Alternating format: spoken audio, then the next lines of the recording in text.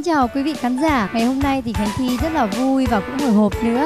Tại vì à, từ khi sinh em bé đến bây giờ thì mình rất là quan tâm đến khẩu phần ăn này, dinh dưỡng dành cho Cubi nhà mình. Chính vì thế mà ngày hôm nay thì đã tham gia chương trình Giờ ăn vui nhộn để có thể hiểu biết thêm và cùng được tư vấn từ hai chuyên gia để có thể tư vấn được cho mẹ con Cubi sẽ có những khẩu phần ăn tốt hơn và những khẩu phần ăn đó sẽ giúp cho Cubi phát triển tốt hơn. Khánh Thi hy vọng tất cả quý vị khán giả sẽ cùng ủng hộ cho Khánh Thi và Cubi uh, chiến thắng trong chương trình này nhá. giữa cà rốt và ớt chuông bé sẽ chọn loại quả nào hay sẽ chọn cả hai đầu tiên là chị khánh thi ạ Với Thi thì Thi nghĩ là Cubi cái gì Cubi cũng chọn hết à. câu trả lời của bé đó chính là đó chính là cà rốt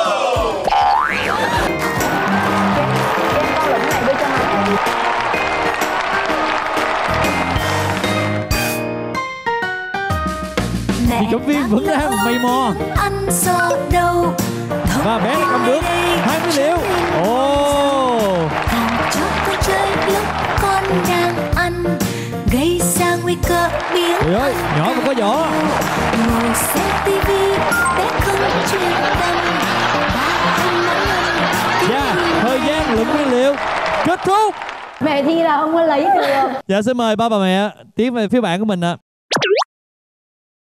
Và thưa quý vị, trên tay của những bà mẹ đang là những nguyên liệu mà các con mình mang về. Bây giờ sẽ là thời gian dành cho các mẹ sắp xếp lựa chọn những món ăn sao cho hợp lý với tiêu chí là món ăn dành cho bé và có chất béo. Và thời gian dành cho các mẹ bắt đầu. Chúng ta cũng thấy được thì Khánh Thi đang chỉ chúng ta rất nhiều nguyên liệu. Đó chính là niềm tin. đang lo âu tiếng ăn do đâu thông tin nơi đây À, chị Cẩm Viên vẫn đang kết hợp rất là nhiều những món ăn. Có trái cây, có sữa.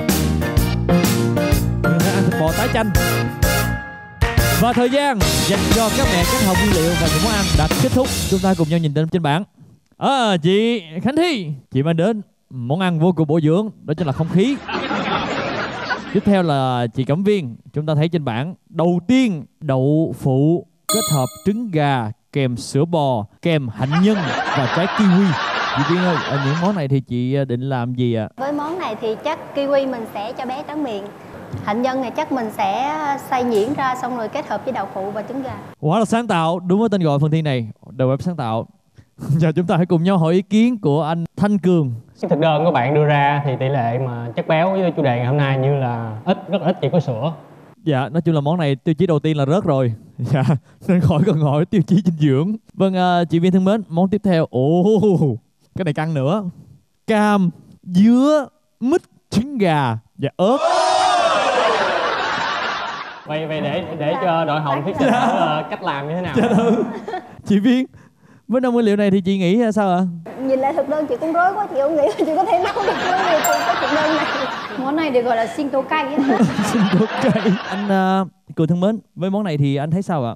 cạn lời Dạ, anh đã cạn lời với món ăn này rồi. Như vậy là hai món của chị Viên đều à, đạt được tiêu chuẩn là ừm, rớt. Dạ. Chị à, Thi thân mến, à, chị cũng đừng nên bi quan. Dạ, đôi khi là không khí nó vẫn tốt hơn là những món ăn được kết hợp như vậy. Hai tỷ số hai đội này vẫn là không không, không đội nào nhận được điểm hết. Và thưa chị Cát Thi thân mến, chị có ý định là kết hợp món nào không ạ? Thi nghĩ là ờ, sữa bò khi mà đun lên và đập trứng quấy ra, đó cũng quấy tan ra, hòa vào nóng thì mình vẫn có thể ăn được. À tức là uống được bởi vì trứng khi đã hòa ra thì nó tan ra rồi.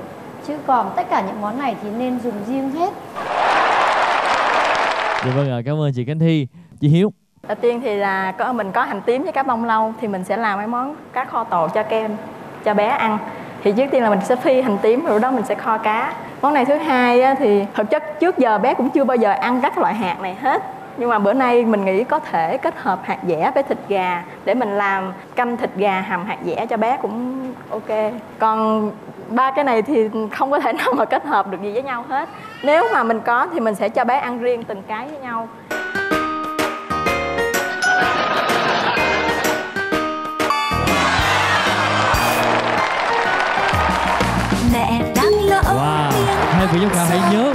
Kỹ để xem bé có thích ăn món mẹ mình nấu hay không. Con dâu càng cho con chơi lúc con đang ăn gây ra nguy cơ bị Nào mấy con ăn lên nào, ăn ngon nào. ngồi xem tivi bé không chuyên tâm ba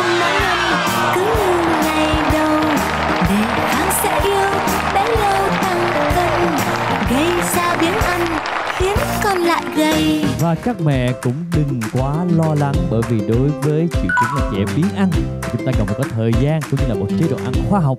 Ngoài bữa chính và bữa phụ ra thì các bé cũng nên kèm theo dinh dưỡng bổ sung Vidasur bởi vì dinh dưỡng bổ sung Vidasur sẽ giúp các bé tăng cường sức đề kháng, tăng trưởng về chiều cao cũng như tăng cường về cân nặng giúp các bé khỏe mạnh hơn. Và khi bé khỏe mạnh hơn thì các bé sẽ ăn được rất nhiều và rất đa dạng về các nhóm thực phẩm khác nhau.